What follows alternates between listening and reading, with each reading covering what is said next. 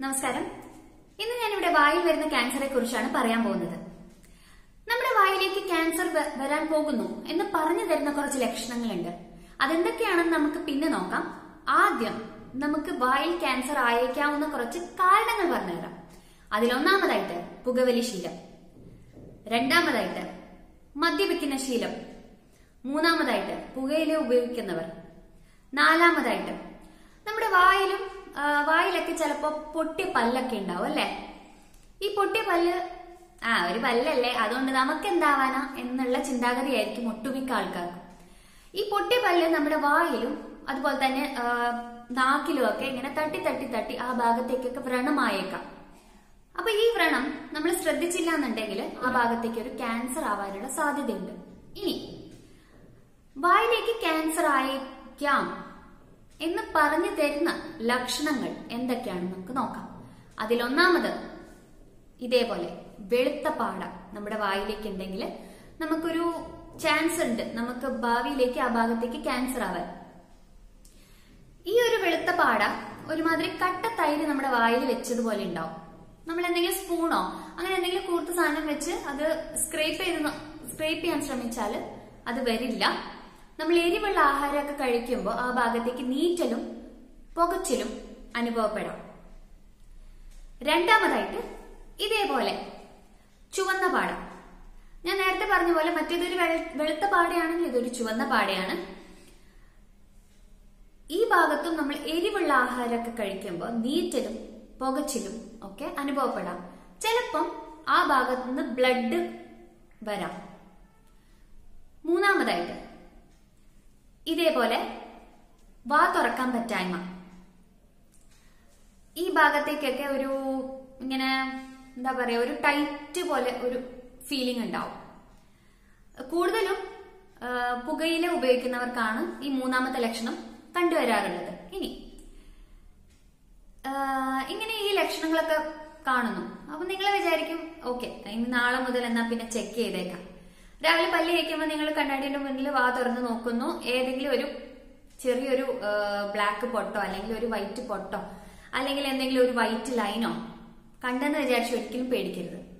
ഞാൻ ഇനി പറയാൻ പോകുന്ന കുറച്ച് ലക്ഷണങ്ങൾ. അത് ക്യാൻസർ ആവില്ല. അതിലൊന്നാമതായിട്ട് ഇത്. വാട്സ് അല്ലെങ്കിൽ അരിമ്പാറ. നമ്മുടെ ക്യാൻസർ ഒന്നും ആവില്ല. ഒട്ടുമിക്ക ആൾക്കാർക്കും ഇത് കണ്ടുവരാറുണ്ട് വായിൽ രണ്ടാമതായിട്ട് ഇതേപോലെ വായ്പുണ്ണം. ഇത് കൂടുതലും സ്ത്രീകൾക്ക് കാണാറുണ്ട്. അതുപോലെ തന്നെ എക്സാം അടുത്ത് നിൽക്കുന്ന കുട്ടികൾക്ക് കാണാറുണ്ട്. ഈ ടെൻഷനൊക്കെ വരുമ്പോ ആണ് കൂടുതലായിട്ടും ഈ വായ്പുണ്ണൊക്കെ കണ്ടുവരാറുള്ളത്. മൂന്നാമതായിട്ട് ലൈക്ക് ആൻഡ് പ്ലാനസ് അതൊരു ഡിബേറ്റ് പോലെയാണ്. അത് പ്രീ ക്യാൻസറസ് ചിലപ്പോൾ അത് ക്യാൻസർ ആവാം. ഒരു പത്ത് വർഷം പതിനഞ്ച് വർഷമൊക്കെ ആവുമ്പോൾ ആ ഭാഗത്തേക്ക് ഒരു ക്യാൻസർ ആവാം. പക്ഷെ ഒരു തൊണ്ണൂറ് ശതമാനം ആൾക്കാർക്കും അത് ക്യാൻസർ ആവാറില്ല. പെട്ടെന്ന് തന്നെ അത് ക്യൂർ ചെയ്യാൻ പറ്റും നമുക്ക്. വായിൽ വരുന്ന ഒരു വെള്ള ലൈൻ ഞാൻ നേരത്തെ പറഞ്ഞു ഒരു വെളുത്ത പാടാണ്. എന്ന് വെച്ച് എല്ലാ വെള്ള കളറും നമ്മുടെ വായിൽ കാണുന്നത് ക്യാൻസർ ആവോ ഇല്ല. ഈ ഒരു വെളുത്ത പാട സോറി വെളുത്ത ലൈൻ നമ്മുടെ ഈ രണ്ട് പല്ല് കൂട്ടിമുട്ടില്ലേ ആ ഭാഗത്തേക്ക് കാണുന്ന ഒരു വെളുത്ത ലൈനാണ് ഇതൊന്നും കണ്ട് പേടിക്കേണ്ട ആവശ്യമില്ല. ഇതൊന്നും ക്യാൻസർ ആവില്ല. പിന്നെ ഏറ്റവും കൂടുതൽ ആൾക്കാർ ഒരു ഡോക്ടറെ സമീപിക്കുന്നത് ഇങ്ങനെ ഒരു കേസ് ആയിട്ടാണ്. മഞ്ഞ കളറുള്ള ചെറിയ ചെറിയ പൊട്ട് പോലെയുള്ള സ്പോട്സ് നമ്മുടെ വായിൽ.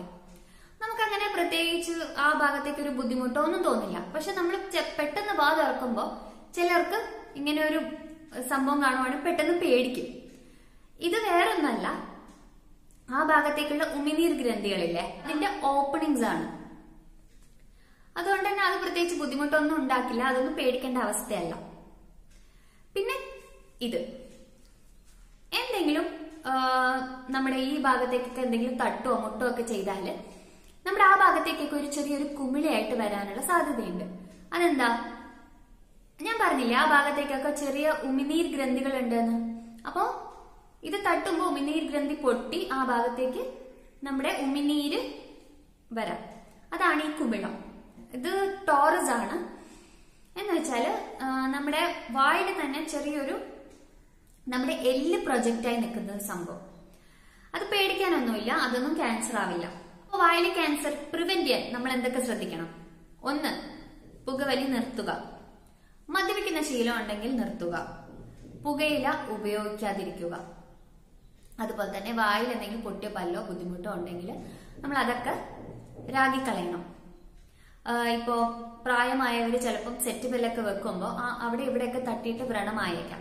ചിലപ്പോൾ അവർ പറഞ്ഞില്ല എന്ന് വരും. അപ്പൊ നിങ്ങൾ ശ്രദ്ധിച്ചിട്ട് എന്താണ് എവിടെയെങ്കിലും വ്രണം ഉണ്ടോ? അങ്ങനെയൊക്കെ എന്തെങ്കിലും ബുദ്ധിമുട്ടുണ്ടെങ്കിൽ ഒരു ഡോക്ടറെ കണ്ട് ആ ഭാഗം രാഗണം വീട്ടിലാരെങ്കിലും പുകവലിക്കുന്നവരോ അതോ മദ്യപിക്കുന്നവരോ ഒക്കെ ആരെങ്കിലും ഉണ്ടെങ്കിൽ ജസ്റ്റ് ഒന്ന് വാ തുറന്ന് അവരുടെ നോക്കുക എന്തെങ്കിലും ഇങ്ങനത്തെ ബുദ്ധിമുട്ട് കാണുന്നുണ്ടോ എന്ന് ശ്രദ്ധിക്കുക നമ്മൾ എപ്പോഴും പറയുന്ന പോലെ prevention is better than cure അപ്പോ ഇന്ന് ഞാൻ പറഞ്ഞ എല്ലാ കാര്യങ്ങളും നിങ്ങൾക്ക് മനസ്സിലായി എന്ന് ഞാൻ വിശ്വസിക്കുന്നു. എന്തെങ്കിലും ഡൗട്ടോ കാര്യങ്ങളോ ഉണ്ടെങ്കിൽ നിങ്ങൾക്ക് കമന്റ് ചെയ്യാം. നന്ദി. നമസ്കാരം.